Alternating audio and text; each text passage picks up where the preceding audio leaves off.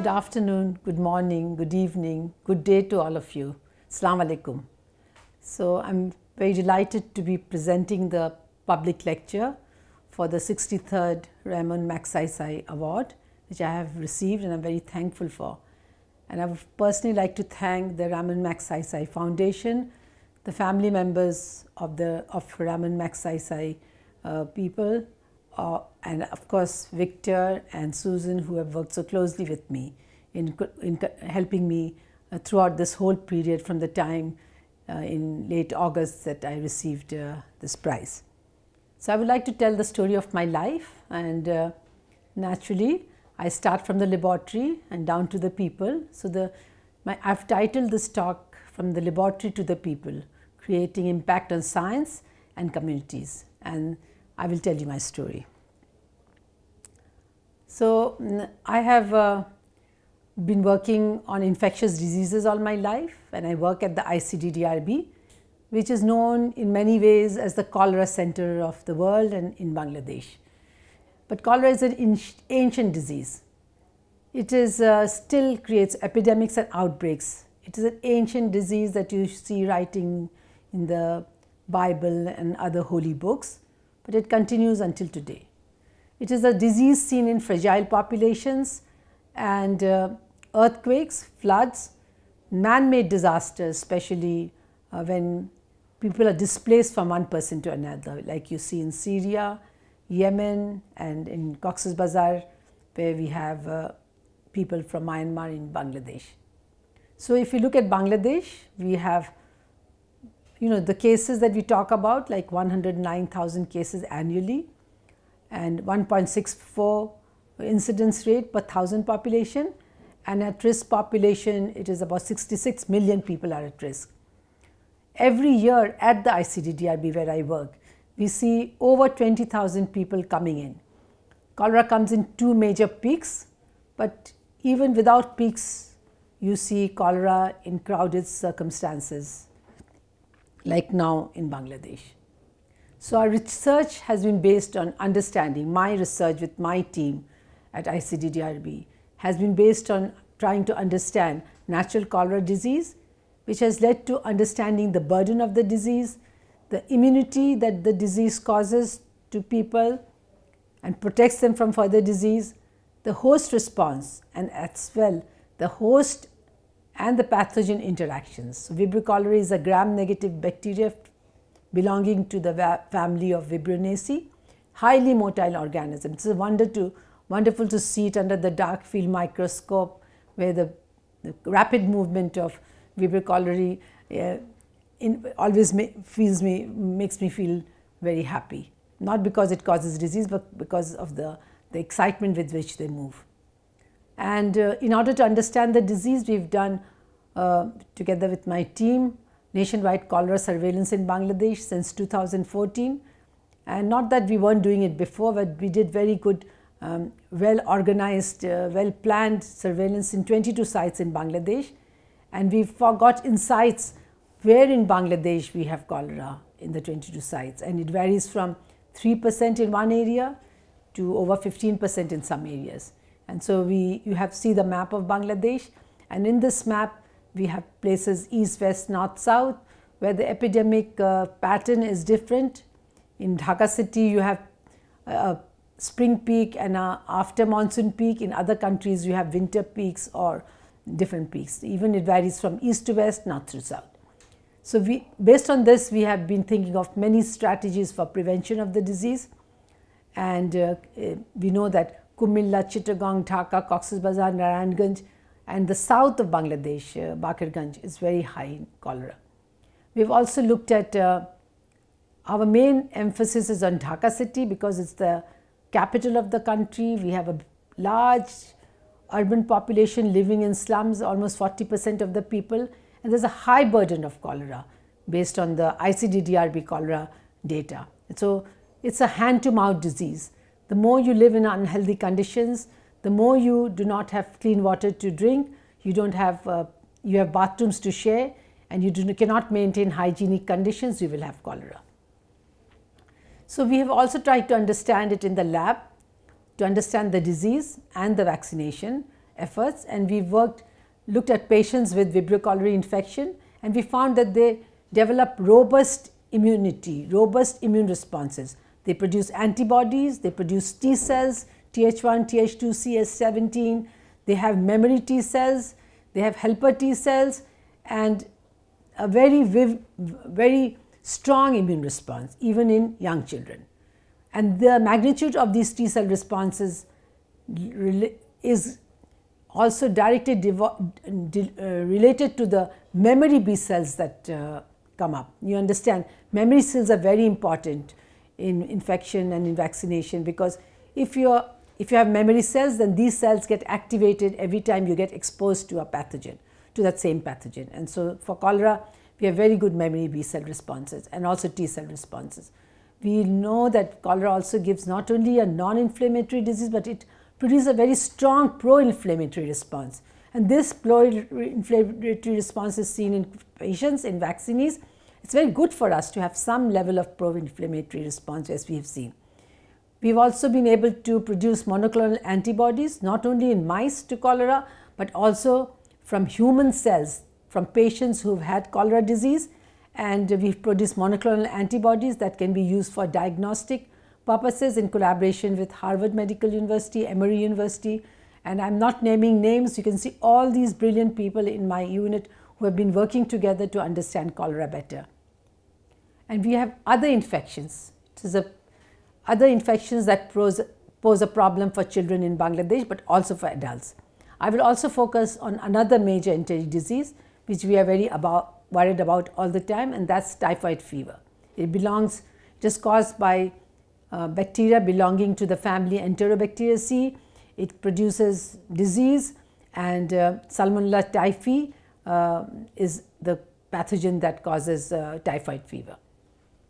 And we've done a lot of studies. You can see in this picture a child with undifferentiated fever with febrile illness and you don't know whether the child has got dengue or chikungunya or kala-azar because just fever, no other symptoms can be present. So, it's very difficult to diagnose typhoid in comparison to cholera because a person can come in with half their body weight lost in cholera you can understand it is can be it is profuse dehydration but with typhoid a child can languish for 7 days at home and nobody will understand that he has a disease that can be such a big problem and so the source of the organism uh, is uh, salmonella typhi and you get acute typhoid fever patients and also chronic carriers. So, a person who has had typhoid, uh, typhoid can carry on the uh, pathogen in their gallbladders and in other organs and we can keep on secreting it and can be a very a big source of infection for other people in the house, in the community. And it is like cholera transmitted to food and water and uh, there are many complications that can arise from uh, typhoid fever. Uh, Cholera is a non-invasive disease that it does not get into the blood usually, but typhoid goes into the blood. It has a gut response, gut phase and it also a blood phase. So, it can cause intestinal perforation, encephalopathy, bleeding, shock. So, it can especially in young children it can be a major cause of problem. And also there is a lot of antimicrobial resistance in these bugs. So, you get, but the best thing is that you get high antibody responses in both the mucosal and systemic immune responses in compartment and these are stimulated in disease. And we have also seen by whole genome sequencing of Salmonella in Bangladesh using uh, the Illumina platform that these bacteria have the non-H58 genotypes carrying fluoroquinolone resistance mutation uh, that uh, are actually uh, quite uh, dangerous. They are the MDR1 H58 um, and these can these are things that we have to worry about a lot because of the high scale at which antibiotics are being used in Bangladesh. So, I am talking about the laboratory until now or high throughput techniques, but what have we done to prevent these disease people from these diseases in Bangladesh and the two examples. So, together these two diseases cause 20 over 20 million cases and at least 250,000 deaths globally and Bangladesh has a major portion in these in the, in the deaths. How are we trying to find a solution to this problem in Bangladesh? and how have we contributed from my team for elimination of typhoid and cholera. So I'm going to talk to you about this story on the field level.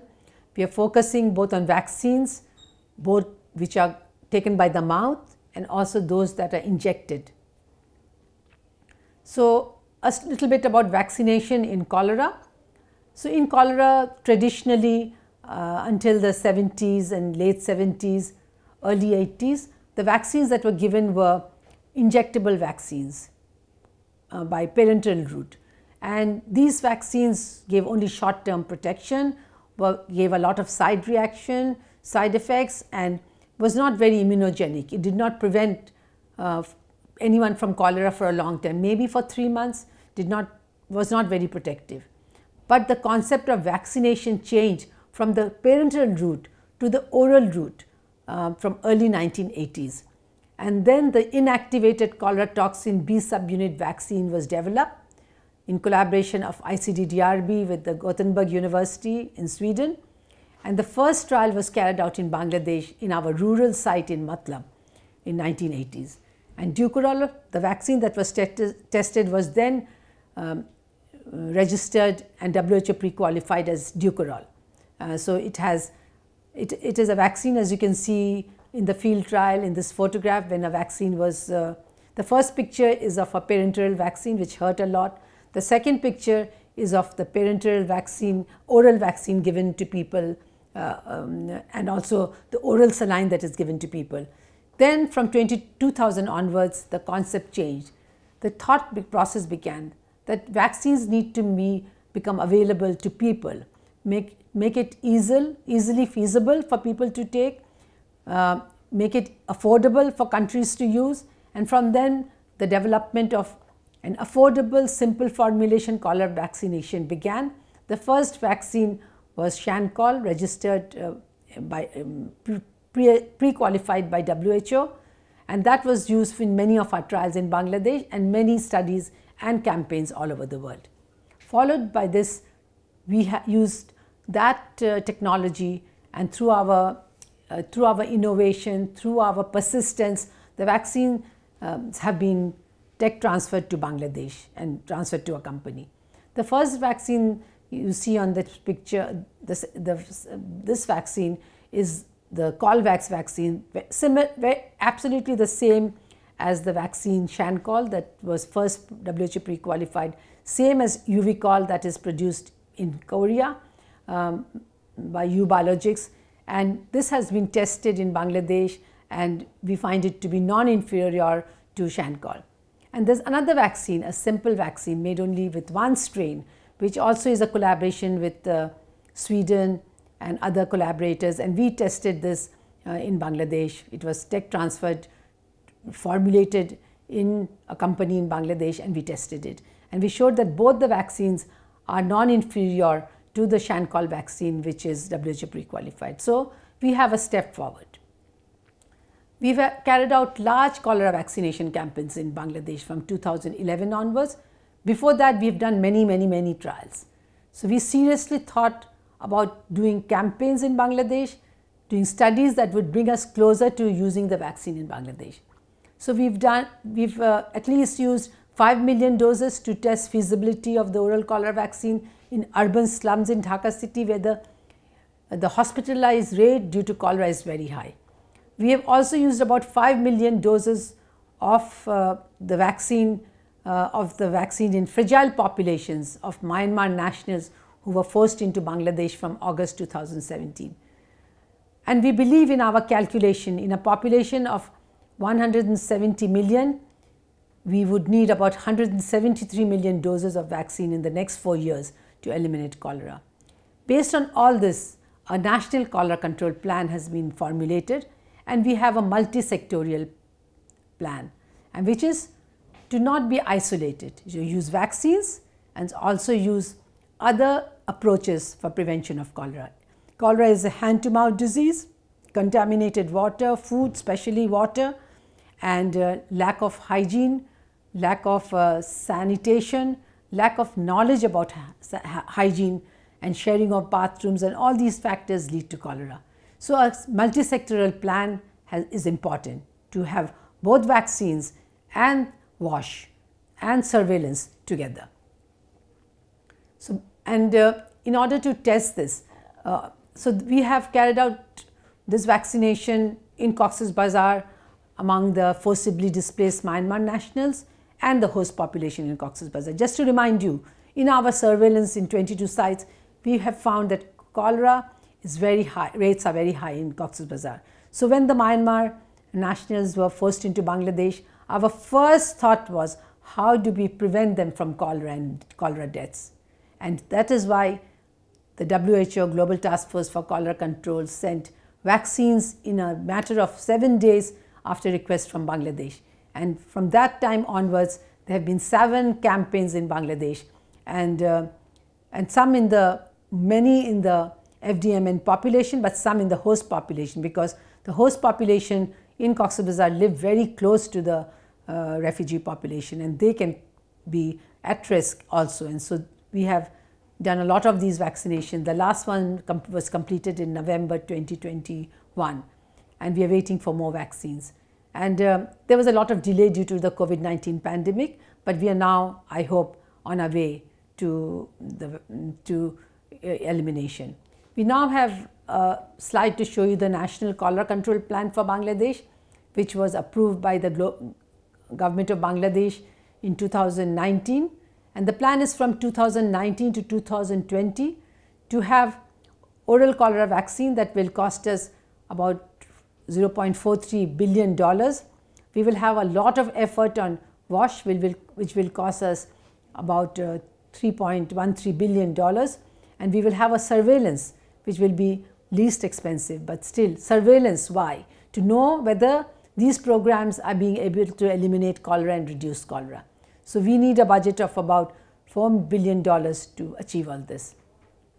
So the global roadmap objective is to reduce the mortality resulting from cholera by 90 percent by 2030 and Bangladesh is one of the eight countries with high cholera burden that has been chosen for this elimination program. And so our short term goal is to reduce cholera 25 percent by 2021, mid term is 50 percent by 2025, long term is 90 percent by 2030. And so we have key interventions for this from 1 to 6 that we are trying to regenerate, reactivate uh, in spite of the COVID pandemic that we have seen.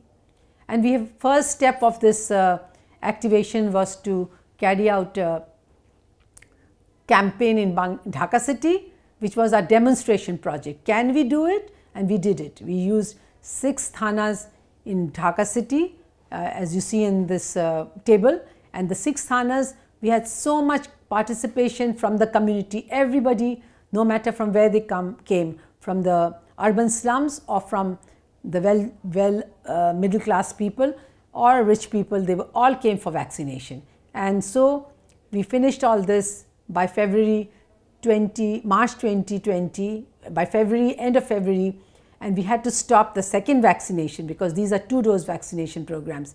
We had like the COVID vaccine and we had to stop it because of the pandemic and we were under lockdown, I had problems and we could not vaccinate and our health system was very busy trying to curb the epidemic of uh, COVID. So now I will talk about typhoid fever and the initiatives we have taken for introduction of vaccine for prevention. So we have had like the cholera vaccine different types of cholera typhoid vaccines um, uh, since 100 years. So first of all there is the parenteral VI polysaccharide vaccine. Before that there was the inactivated typhoid vaccine like the parenteral vaccine you saw that I showed you for cholera. It hurt a lot, gave not that much protection and then it was withdrawn. Uh, no, it's not used and it uh, did not give any protection to children um, less than 2 years of age, but only important for children above 2 years of age. So then there was this Typhi TY21A oral cholera vaccine, but this cannot be used below 5 years of age because children don't mount a, mount a response.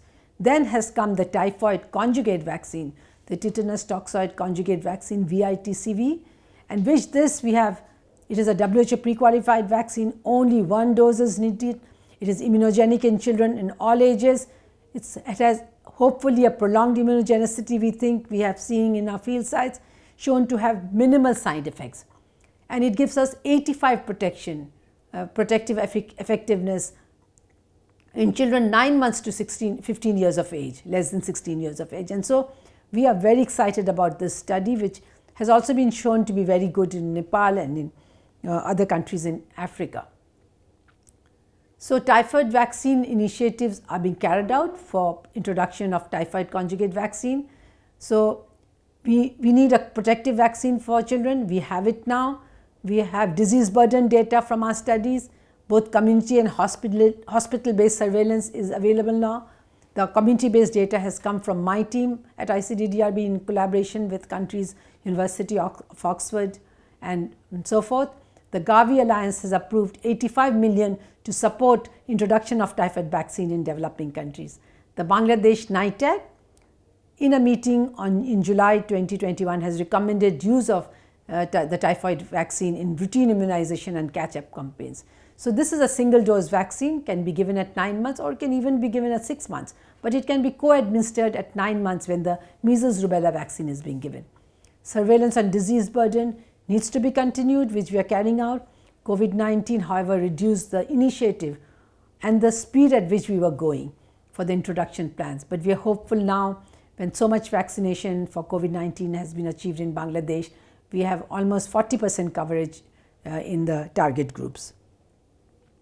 Our team has had had many problems. My MIVU team uh, to change course due to COVID-19 pandemic, which temporarily halted ongoing studies when the COVID pandemic started in March 2020 in Bangladesh and also shook the world.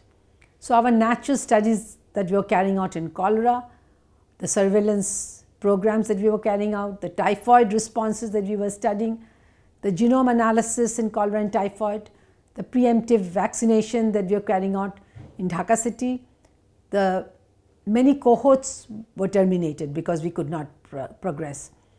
And uh, we then developed and initiated projects on COVID-19 because our team was well set not only for study of cholera and typhoid and other enteric diseases, but also for seroprevalence, natural infection, vaccine trials, pathogen studies for COVID. And we have also done a lot. We have already published about four or five papers minimum in which we have been able to show that we have in mild disease, even in mild disease, 100% of COVID-19 patients are seropositive for IgG antibodies to the receptor binding domain and only and about 40 45% asymptomatic also respond, but newer studies show that all asymptomatic patients um, also respond with antibodies. We have done a lot of studies in collaboration with our teams at ICDDRB, with the government team, IDCR, with other program leads in program for emerging infection and we have shown that at the national level there is about seroprevalence level all, already by April to October had risen to 52 percent. In the slum, the, mm, in Dhaka city, in the slum it was 74 percent, so the exposure must have been very high.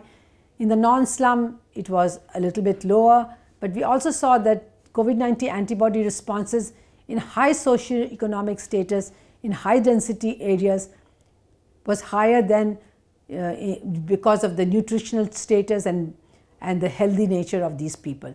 We also showed that uh, right now the antibody levels are very high. In our latest studies, we have seen even in rural Bangladesh about 80 to 90 percent people have seroconverted to COVID antibodies. So that means we have reached a high level of seroprevalence, but I won't say we have reached herd protection because that will come both with vaccination and natural exposure. So we've done many things. We are now, we have four vaccines that are being given of the seven vaccines that have emergency use authorization in Bangladesh. And of those vaccines, we have uh, looking at uh, um, the AstraZeneca Covishield vaccine, the, uh, the other three vaccines are Sinopharm vaccine, the um, two other vaccines are Moderna and Pfizer vaccine and we are looking at the antibody responses and the longevity of antibody responses together with IDCR and with funding from USAID, Gates Foundation and uh, support from ICDDRB. And we've seen, seen that by after taking the first dose of COVID vaccine, 93% participants become seropositive. And by second dose, 100% participants become seropositive at two months after second dose. We have done a lot of studies and we've seen that uh, uh, the vaccine antibody lasts even after three months or six months, as you can see in the last bar on the, on the slide. So antibody levels go down, but don't go down drastically. They still remain. But we know that antibodies, IgG antibodies do come down with memory B cell responses. These climb up again as soon as there is exposure. We're also looking at the genomic epidemiology of SARS-CoV-2 at ICDDRB and in my sister organization at IDESHI, which uh, I lead also. And we have involved with the COVID-19 genomics in projects and we are continuing our efforts to follow the Wuhan type to the alpha, beta, delta and now the Omicron. And so we do this all with MinION sequencing and where possible with Illumina sequencing. And we have collaborated internationally with uh, the um, with all countries, the Mass General Hospital, with University of Gothenburg, with uh, Nick Thomson at um, Sanger Institute, and our collaboration has taken us very far with these uh, vaccine studies and the genomic studies. So, in conclusion, I would like to say I have dedicated my life to in infectious disease research to achieve all the success over the last three decades, not only for myself, for my country, and for ICDDRB. There have been many initiatives that we are working on that I'm interested in. I'm a very ambitious person on cholera, typhoid, ETEC, rotavirus, Shigella, H. pylori, hepatitis E vaccine, and infection, meningococcus, and rabies, which are key problems in Bangladesh. We have ex successfully executed our study findings at the policy level, both nationally and globally, especially with examples that I'm showing you for typhoid and cholera. However, COVID-19 has shaken not only our work, but also halted and delayed many regular activities. But we did not stop. And I'm thankful to my team, both national and international, and the collaborations. We continued our work in consulting with other stakeholders, donors, sponsors, and collaborators. And finally, I would like to spend the rest of my life on infectious disease research and finding solutions as much as I can together with my team and I thank everyone who has been so helpful in my effort in my life. First of all, uh, all the donors that have always come forward uh, in the universities and the sponsors and also uh, the core support that ICDDRB gets. Without the ICDDRB format, we would not have been able to work. And I thank you all and also the Ramon Magsaysay Foundation for the great honor that they've given me, that they've bestowed on me. Thank you very much.